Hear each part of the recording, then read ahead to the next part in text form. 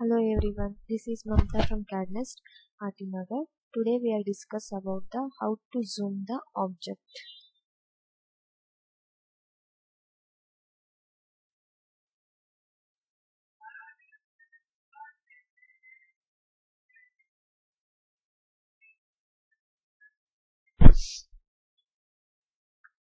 There are three types of zoom is there. First one is zoom and zoom window and zoom extent.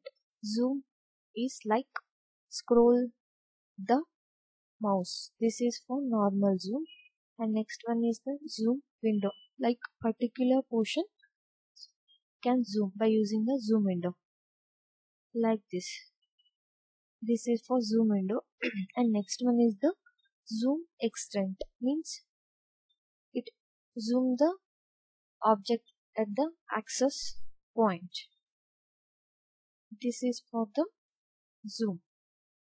And last one is the zoom previous means it shows the previous zoom.